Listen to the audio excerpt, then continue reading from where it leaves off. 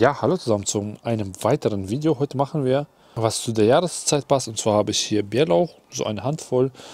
Und dann habe ich mir überlegt, was ich mache. Und also ich habe hier einfach Kartoffeln, äh, zwei Zwiebeln, eine Spitzpaprika, zwei Knoblauchzehen und so eine halbe Zwiebel wirklich äh, etwas kleiner geschnitten. Dann habe ich hier 300 Milliliter Milch und 20 Gramm Butter, 20 Gramm Mehl. Das ist für unsere Soße. Also wir machen eine Mehlschwitze.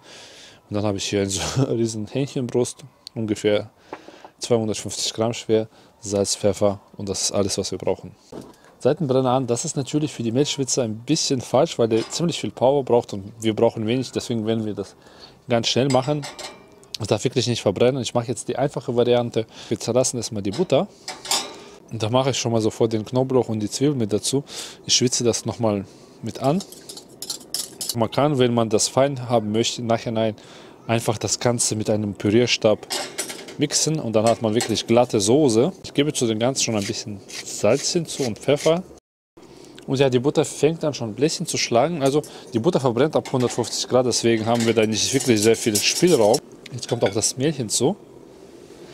Und wir rühren das erstmal schön um.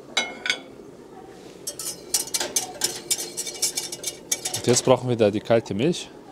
Und die wird einfach langsam reingerührt. Also die wird einfach reingegossen, umgerührt, also nicht alles auf einmal, dann ein bisschen aufkochen lassen, nach und nach dazugeben.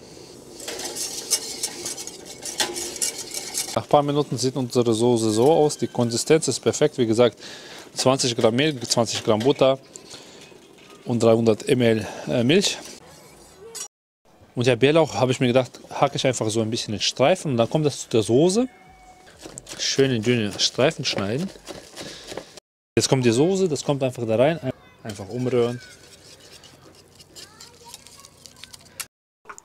Und ja, das Gute jetzt, wir müssen einfach alles in Scheiben schneiden. Ich schneide erstmal die Zwiebeln. Wir werden das eine Art schichten, also ungefähr so halben, ja, halben Zentimeter, nicht mal. So, jetzt mache ich die Paprika auch einfach in Scheiben.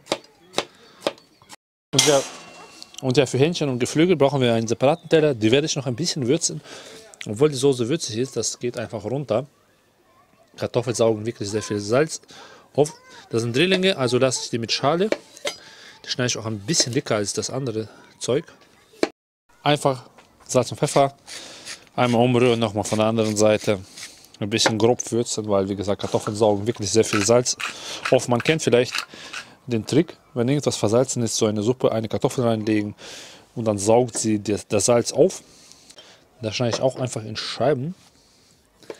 Ja, auf einem Brett. Das wird sowieso alles zusammengeschichtet. Das lege ich auch ein bisschen so aus, dass ich das von einer Seite wenigstens würzen kann. Und als erstes nehme ich ein bisschen Soße und verstreiche die hier. Drunter kommt dann eine Kartoffel, so ein paar Zwiebelscheiben, also Hähnchenbrust, Paprika und ich denke mal, ihr habt das Prinzip verstanden. Einfach alles nacheinander drauflegen.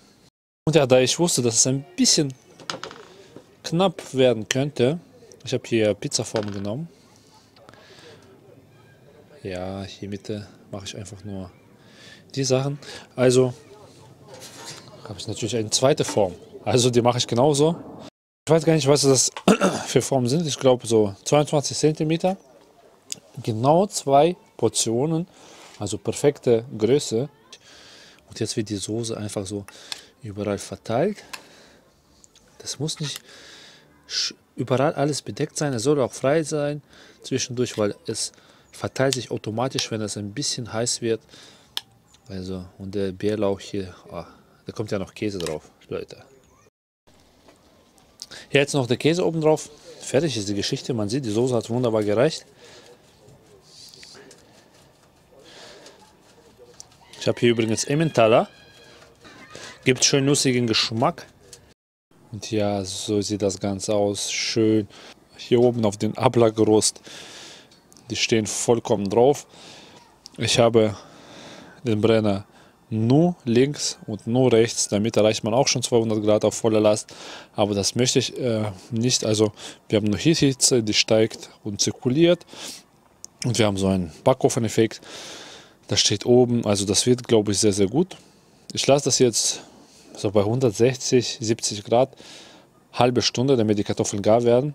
Und dann drehen wir nochmal hoch. Und ja, Freunde, nach einer Stunde sieht das Ganze genau so aus.